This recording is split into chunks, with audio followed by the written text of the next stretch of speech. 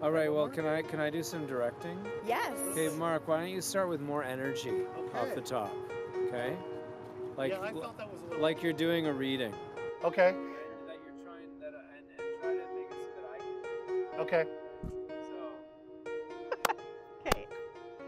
Hi, I'm Mark Leiren-Young, director of The Hundred Year Old Whale.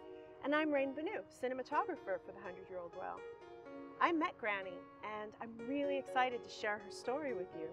And we're looking forward to sharing the story at the world premiere of The Hundred Year Old Whale at the Planet in Focus Film Festival. We're on October 21st, 2.30 p.m. as part of the Wildlife Shorts program. See you there. There. That was good.